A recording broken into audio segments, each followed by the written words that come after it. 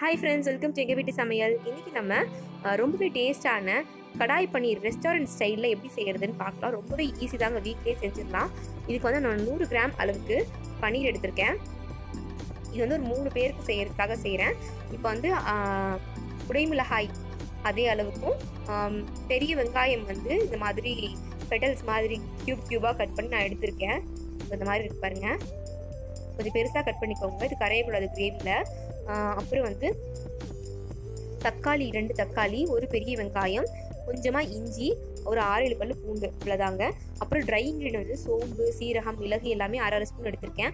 அதுக்கப்புறம் நட்சத்திர சோம்பு பட்டை லவங்கம் கிராம்பு கல்பாசி இதெல்லாம் ஏலக்காய் இது எல்லாமே கொஞ்சம் எடுத்திருக்கேன். அப்புறம் வந்து ஒரு ஒரு ஸ்பூன் அளவுக்கு தனியா மூணு காஞ்ச மிளகாய் எடுத்திருக்கேன்.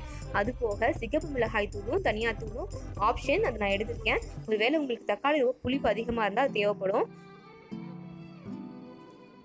இப்போ வந்து ஒரு வால் காய வச்சுக்கிட்டு நம்ம எடுத்து வச்சுருக்க ட்ரை இன்க்ரீடியன்ஸ் எல்லாத்தையும் நம்ம முதல்ல போட்டு வறுத்து எடுத்துடலாம். இது ரொம்ப கோல்டன் ப்ரௌனாக வருதுன்னு அவசியம் கிடையாது. லேசாக சூடுபட்டு உங்களுக்கு வாசனை வரும். அந்த அளவு இருந்தால் போதும். நம்ம இதை எடுத்து நம்ம மிக்சியில் போட்டு ட்ரையாக பவுட்ரு பண்ணி எடுத்து வச்சுக்குவோம். ஒரு ஸ்பூன் அளவுக்கு எண்ணெய் விட்டுட்டு அதில் வந்து நம்ம க்யூபாக கட் பண்ணி வச்சுருக்கக்கூடிய பெரிய வெங்காயத்தை ஒரு ரெண்டு நிமிஷம் வந்து வதக்கி ஃபுல் ஃப்ளேம்லேயே வச்சு வதக்கி எடுத்துக்க போகிறோம் இது வந்து வதங்கக்கூடாது. ஒரு ஒரு மாதிரி ஒரு அரை வேக்காடாக இருந்து உங்களுக்கு க்ரன்ச்சியாக இருக்கணும். குடைமிளகாயும் போட்டுக்கலாம் இது கூட. உங்களுக்கு வந்து கடைசியில் போடுறதுனால உங்களுக்கு வந்து வெங்காயமும் கேப்சிகமும் உப்பு ஏறாத மாதிரி இருக்கும். அதனால வந்து கொஞ்சமாக வந்து இது கூட உப்பும் சேர்த்துக்கிட்டோம்னாக்கா நமக்கு வந்து டேஸ்ட் நல்லா இருக்கும். உப்பு சேர்த்துட்டு ஒரு ரெண்டு நிமிஷம் மட்டும் வதக்க போகிறோம் இது கூட வந்து நம்ம பன்னீரும் சேர்த்துக்கலாம். இந்த கேப்பில் போய் அந்த ட்ரை மசாலா எல்லாத்தையும் நான் அரைச்சி எடுத்துகிட்டு வந்துடுறேன். அது ஆறிடுச்சு. அதை அரைச்சி எடுத்துகிட்டு வந்துடலாம். இப்போ பன்னீர் சேர்த்துட்டு ரொம்ப கலராதீங்க. லேசாக அப்படி திருப்பி விட்டு கொஞ்சம் அந்த சூடு மட்டும் பரவுற மாதிரி பார்த்துக்கோங்க இப்போ இது ரெண்டு மூணு நிமிஷம் ஆனதுக்கு அப்புறமா இதை எடுத்துடலாம். பாருங்க. ஒரு அரை வதக்கல் வதங்கின மாதிரி இருக்குது பாருங்கள் இந்த மாதிரி தான் இருக்கணும். உங்களுக்கு நறுக்கு நறுக்குன்னு அந்த பன்னீர் கூட அந்த கேப்சிகமும் வெங்காயமும் உங்களுக்கு இருந்துச்சுன்னா தான் ரொம்பவே நல்லா இருக்கும். ரெஸ்டாரண்ட்டில் சாப்பிட்ற மாதிரி இருக்கும். இப்போ இது கூட வந்து ஒரு ஒரு ஸ்பூன் அளவுக்கு எண்ணெயும் ஒரு ஸ்பூன் நெய்யும் விட்டுக்கலாம். உங்களுக்கு பிடிச்சிருந்தா நீங்கள் வந்து வெண்ணெய் அதாவது பட்டர் கூட சேர்த்துக்கலாம் இது கூட.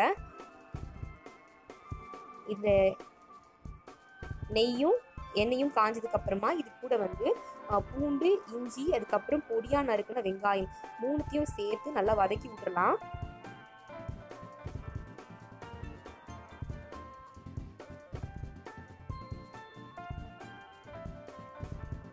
இது கூடவே வந்து நம்ம வந்து பொடியா நறுக்குனா தக்காளி அதையும் இது கூட சேர்த்துடலாம். இது நல்லா வதங்கணும். ஒரு முக்கால்வாசி வதங்கினா போதும். முக்கால்வாசி வதங்கிருச்சு. இப்போ நம்ம இதையும் எடுத்துட்டு இதே வானலையே வந்து நம்ம கிரேவி தாளிச்சிடலாம். இப்போது அந்த மசாலாவும் அரைச்சி எடுத்துட்டேன். தக்காளி வெங்காயம் வதக்குனதையும் அரைச்சி எடுத்துட்டேன். இப்போ வானல் காய வச்சுட்டு அதில் வந்து ஒரு ரெண்டு ஸ்பூன் அளவுக்கு எண்ணெய் விட்டுக்கிட்டு அதில் நம்ம அரைச்சி வச்சிருக்கக்கூடிய அந்த தக்காளி விழுது தக்காளி வெங்காயம் இஞ்சி பூண்டு சேர்த்தோம் இல்லையா? அந்த விழுதியும் இது கூட சேர்த்து நல்லா கலந்து விட்டுடலாம் அடி பிடிக்காத மாதிரி கலந்து விடுங்க. இப்போ நம்ம அரைச்ச மிக்ஸி இருக்கும் இல்லையா? அதை வந்து கழுவிட்டு அந்த தண்ணியும் வந்து ஒரு அரை கப் அளவு இருக்கு. அது இது கூட சேர்த்துக்கிறேன்.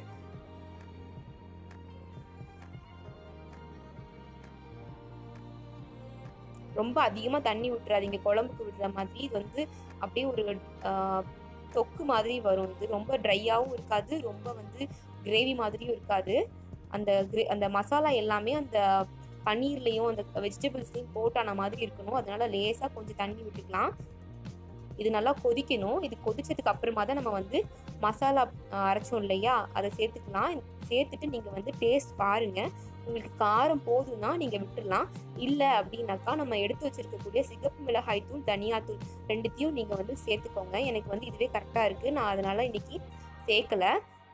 இது ஒரு கொதி வந்து மசாலாவோட பச்சை வாசனை போனதுக்கு அப்புறமா நம்ம இது கூட வதக்கி வச்சிருக்க வெங்காயம் அதுக்கப்புறம் குடைமிளகாய் ரெண்டுத்தையும் சேர்த்து ஒரு பெரட்டு பெரட்டிட்டு தட்டு போட்டு மூடிடுங்க பன்னீர் போட்டதுக்கப்புறம் ரொம்ப வதக்காதீங்க. எண்ணெய் பிரிஞ்சு வர ஆரம்பிச்சிருச்சு. இந்த ஸ்டேஜில் நம்ம அடுப்பை ஆஃப் பண்ணிக்கலாம். நான் உங்களுக்கு பன்னீர் எவ்வளோ சாஃப்டாக வந்துருக்குன்னு காட்டுறேன் பாருங்கள் உள்ள மசாலாலாம் நல்லா இறங்கி நல்லா சூப்பராக இருக்குது ரொம்பவே ஈஸியாக செய்யக்கூடிய ரெசிபி தான். இது கூட வந்து நான் கொஞ்சமாக சர்க்கரையும் கொத்தமல்லியும் சேர்த்துக்கிறேன் சர்க்கரை சேர்க்கறதுனால உங்களுக்கு தக்காளியோட புளிப்பு வந்து குறையும். ப்ளஸ் வந்து உங்களுக்கு அஜினமோட்டோ போட்ட மாதிரி ஒரு ஃபீல் கொடுக்கும் இந்த சர்க்கரை. கொத்தமல்லியும் போட்டு நம்ம இறக்கிடலாம். நம்மளோட கடாய் பன்னீர் ரொம்பவே சூப்பராக ரெடி ஆகிடுச்சு இது வந்து சப்பாத்தி நான் கூட ரொம்பவே நல்ல காம்பினேஷனாக இருக்கும். இந்த வீடியோ உங்களுக்கு பிடிச்சிருந்துச்சுனாக்கா லைக் பண்ணி ஷேர் பண்ணுங்கள் மறக்காமல் சேனலை சப்ஸ்கிரைப் பண்ணிவிட்டு பக்கத்தில் இருக்க பெல் பட்டனை கிளிக் பண்ணுங்கள் தேங்க்யூ